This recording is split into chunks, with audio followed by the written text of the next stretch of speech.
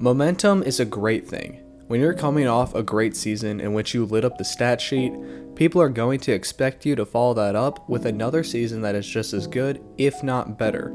And when you're in that position as a football player, it is your job to not get caught up in all the hype about yourself and stay focused on what's ahead. However, momentum can be halted or interrupted by something very small, and as you'll find out in this video, this could not be more true for anyone than Shock Linwood.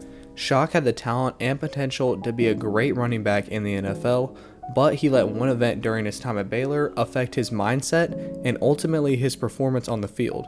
In this video, we're going to take a look back at the journey of Shock Linwood and find out what caused his inevitable decline. Guys, before we get into the video, I would really appreciate it if y'all like this video and subscribe to my channel if you enjoy my content. It doesn't take long to do and helps the channel to grow. Now, let's get into the video. Shock attended Linden Kildare High School in Linden, Texas. At Linden Kildare, he not only played running back, but was also a quarterback, linebacker, defensive back, and returned kicks. In 2010, as a junior, Shock led his team to a 10 3 record as he ran for 1,473 yards and 18 touchdowns, and had 14 receptions for 138 yards and 2 more touchdowns. That year, he was named to the 2010 All District 8 2A team. But his senior year was the year he really made a name for himself as he rushed for 2,105 yards and 25 touchdowns.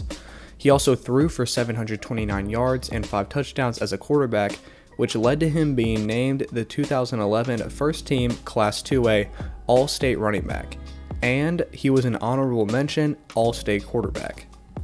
He was also selected as the 2011 District 8 2A Player of the Year and was named to the 2011 East Texas All Area First Team. Coming out of high school, 24 7 Sports had Shock ranked as a three star athlete, and he ended up receiving offers from schools like UTSA, North Texas, and TCU, but he ultimately committed to Baylor. He decided to redshirt his freshman year at Baylor in 2012, but in 2013, he was the backup running back.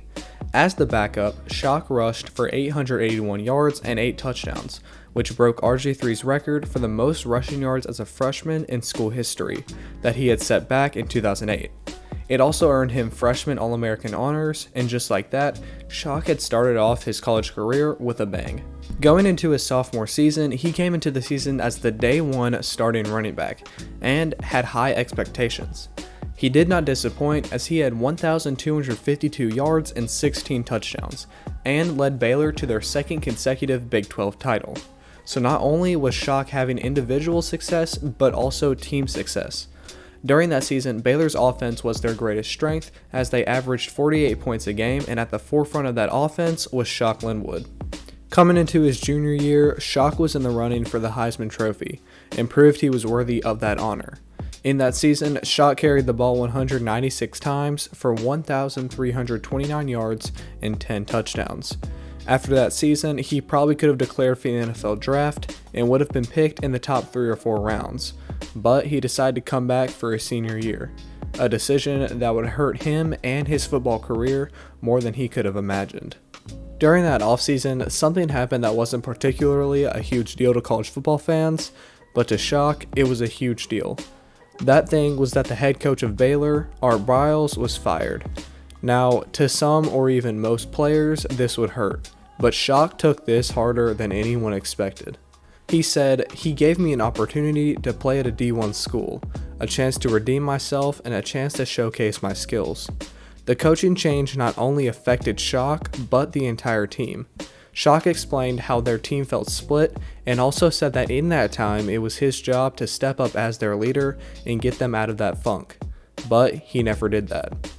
As the 2016 season was on the horizon, Shock was not expected to play much due to his attitude about the coaching change and his non desire to practice during the week. Shock did not start off the season well, but Baylor did.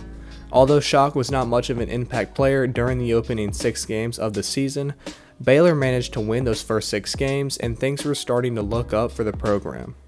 In those games, Shock only had 500 rushing yards and two touchdowns, with his best game coming against Iowa State, where he had 237 rushing yards and one touchdown. After that sixth win, things started to head south. Baylor did not win another game that entire season and finished the regular season with a 6 6 record. As for Shock, he would not score another touchdown the entire second half of the season and finished with a minuscule 751 yards and two touchdowns. He even got suspended for the Oklahoma game that year due to his poor attitude and performance. He also skipped Baylor's bowl game in order to prepare himself for the NFL. Now, when we think of the NFL, we have to go back to the end of the 2015 season for Shock when he decided to forego the NFL draft in order to stay for his senior year. He said, I don't think I was actually ready for the NFL my junior year. I had the mindset of staying in college. So, from that, we can see that Shock did not regret the decision to stay at Baylor. So, Shock's decision to skip Baylor's bowl game was not a good one according to scouts. They were saying that after that year, Shock needed more than anything to play in the bowl game in order to build some momentum going into the NFL draft. Shock did not get an invite to the NFL Combine, and as far as I can find, did not even get a shot in the NFL. Okay, so now I'm going to give y'all my thoughts on Shock's situation. I think that him not getting drafted was not completely unreasonable. However, the fact that he didn't even get a chance in the NFL is unreasonable. Now, I could be wrong. He may have gotten a shot with some team, but as far as I could find, he did not. I feel like Shock was defined by the bad senior season that he had, and scouts and coaches just looked past the monster sophomore and junior season that he had. He proved he was capable of producing on the field for two years, so the fact that he might have not have even gotten a workout or tryout or anything in the NFL is crazy to me. The coaching change at Baylor affected Shock more than people probably expected but at the same time, no one except Shock will ever know exactly how it affected his mindset. Shock knows more than anybody that going into the 2016 season, he, more than anybody, should have picked up his team and changed their mindset as the senior running back. But he didn't do that, and he regrets it. At the end of the day, Shock knows what should have happened and what should not have happened, but there's nothing he can do about it now because it's in the past.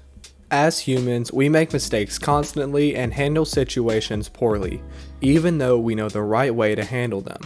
Unfortunately, it costs Shock more than it does most people. But that's not the end of Shock's story. Shock ended up getting a chance in the Italian Football League for the 2020 season, and we'll see how he does.